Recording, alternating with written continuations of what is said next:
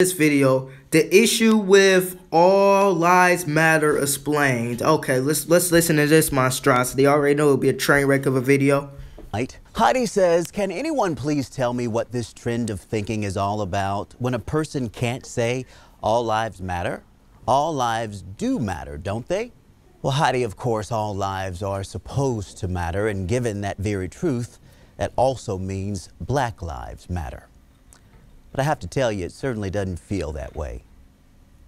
I've worked hard to get here. I went to good schools, got good grades, tried to do good in the world, never been arrested. But it's scary when I read headlines like this in a major newspaper.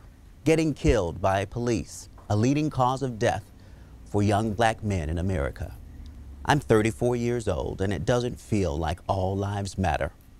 When I know I've spent my entire life smiling and doing everything I can to somehow account for the fact that I'm a dark skinned black male to make people feel at ease that I'm not a threat. It doesn't feel like all lives matter when folks who look like me are 2.5 times more likely to be killed by police than white people, according to a study conducted by Rutgers University School of Criminal Justice. Doesn't feel like all lives matter. When a man who looks like me can be killed by police over 20 bucks. nigga hold on. This is what I gotta say about it. nigga fuck you. Fuck you you fucking so you uh, oh but oh, wait a minute wait a minute wait, whoa whoa wait a minute now. So yeah, you don't feel like all lives matter right? Well you can find the love of your life that's white I bet you gonna say all lives matter then okay that was a burp um, so a study conducted by something finds out black people are 2.5 times more likely to die from a cop. Um, yeah, where's the proof at? You, all, and you already know, when likes and comments are disabled, this video received a lot of backlash. Now, um, you don't, this, this, this guy's a walking stereotype. He's a walking fucking stereotype. You're being racist by saying you don't feel like all lives matter. That's being racist, period. I don't give a fuck. You're basically saying Canadian lives don't matter, white lives don't matter, Mexican lives don't matter, African lives don't matter, European lives don't matter, Russians lives don't matter, uh, fucking uh, Alaskan lives. Yeah, fuck you. Uh, seriously. All lives don't matter. I don't feel like all like nah, shut the fuck up. You're a walking stereotype. Um I don't feel like your life matters. How about that? I don't feel like your life matters. I, I really don't. Um, since you want to say all lives don't matter, yeah, bullshit. Um, um, if all lives don't matter, then uh, you can th- you can you can say basically you can what you know the car you're driving. You could think of uh, Henry Ford for that, even though it's probably Honda or something. Henry, Henry Ford is the one that's the reason why cars are the way cars are now. If all lives don't matter, you're basically saying your mayor's lives don't matter because more than likely your mayor is white, okay? Because there's only a few black mayors of cities.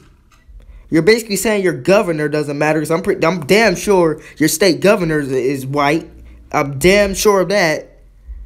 And you're basically saying um, Joe Biden, the president, you're probably gonna vote for. Now I'm talking about this black guy. The president, you're probably gonna vote for because you're a Democrat, maybe. Um, you know, personally, I'm not a Democrat nor Republican. I don't I don't want, I don't like either of them. They both cause a lot of problems. But this guy more than likely is gonna vote for Joe Biden, uh, because you know stereotypes. Um, so you're basically saying Joe Biden's life do, do not matter. Your future president, hopefully not. Um, you know, I like I like Bernie Sanders, but you know, let's not get too political. Um,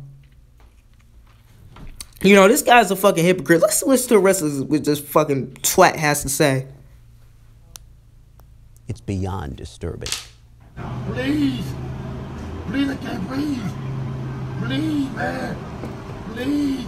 Oh, and um, um, newsflash: George Floyd is not a good guy. He held a gun up to a pregnant woman, and while a house was being robbed. So yeah, he's not a good person. Fuck George Floyd. He's a piece of shit. It doesn't feel like all lives matter when a plea for help is ignored, ignored by the very people. Hey, show the black cop killing the white cop then. I mean, the white boy. Show the black cop killing the white boy. I bet you won't do that, bitch.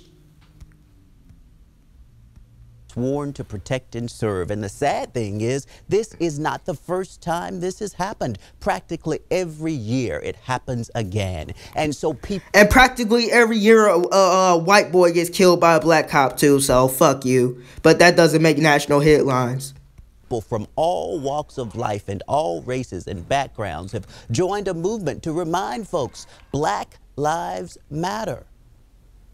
Responding to that. Uh, well, according to Detroit, Michigan, Baltimore, Maryland, Memphis, Tennessee, Chicago, Illinois, Milwaukee, Wisconsin, St. Louis, Missouri, Jackson, Mississippi, Atlanta, Georgia, uh, Tulsa, Oklahoma, and other states, I mean, other cities, uh, Brooklyn, New York, black lives do not matter because there won't be black on black crimes every day. Cry for justice, that cry for equality with all lives matter is like saying, Things are already equal. Things are already just. And we know that ain't true. Sure, we've come a long way. I'm here tonight all the way from Birmingham, Alabama, once known as Bombingham. Oh, and Birmingham, Alabama. Who would have fucking known? Birmingham, Alabama. Out of all the cities this nigga could been in, is Birmingham, Alabama. Not surprised. Because of the many people who stood up and cried and prayed and marched for a better day. Oh, and Martin Luther King was the one basically saying all lives matter. He was supporting white and black people, you little dumb fuck. So don't try to say nothing about Martin Luther King, you little dumbass, even though he didn't say it. Don't try to say what Martin Luther King would have done to shave you saying black lives matter. No, because you're basically saying you're used to say fuck what Martin Luther King said. You know, Martin Luther King's the one that was saying all lives matter. He wanted to get black and white people together. This is some Malcolm X shit. Black Lives Matter. This is some Malcolm X shit. No, but Martin Luther King was the peaceful guy. Okay. Well, guess what? The march toward better continues in communities all across this country with one simple message. Black Lives Matter. Hip hop. No, Black Lives do not matter, actually. Um, so this little twat right here. I mean, look at this guy. What's going on with his fucking hair. He has a receding hairline at 34. Okay, let me stop. But fuck this dude. Seriously, fuck this dude. I know this video will get throttled in the YouTube algorithm. I don't give a fuck. Fuck this guy. Seriously. He is a walking stereotype.